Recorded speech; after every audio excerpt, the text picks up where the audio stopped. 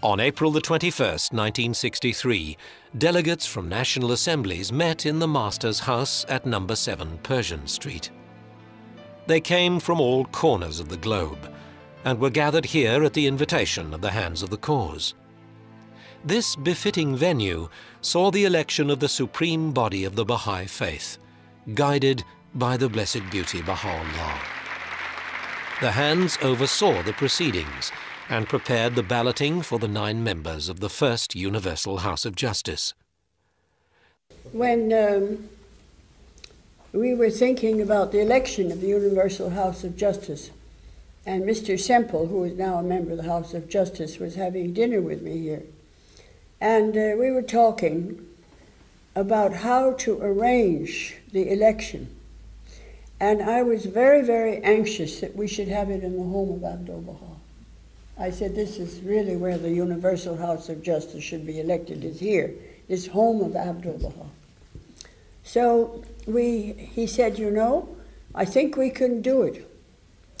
And uh, I got out my father's 30-foot architectural meter, rule, and we measured everything. And we made a diagram of the house. And we, we decided that if we took all of these doors off, you see, which uh, to just lift off their hinges, that we could make this whole area one huge auditorium.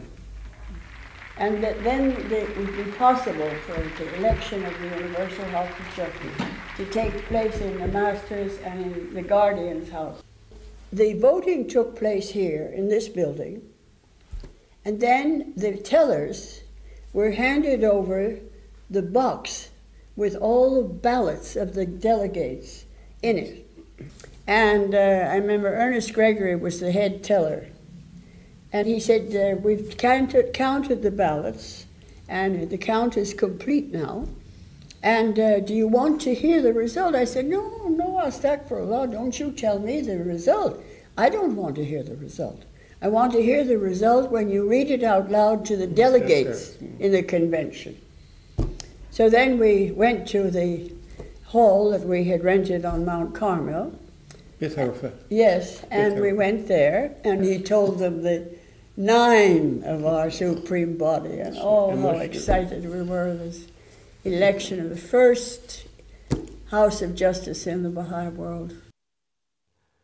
The waiting crowd of the hands and delegates in the auditorium.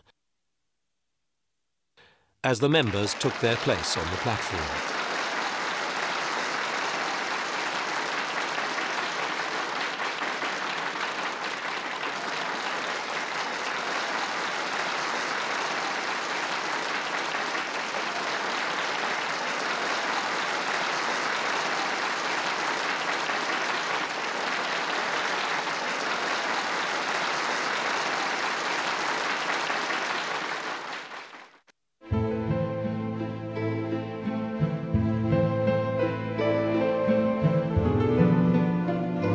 The joy of the delegates was indescribable as they all gathered at the mansion of Bahji to pay homage at the shrine of Baha'u'llah.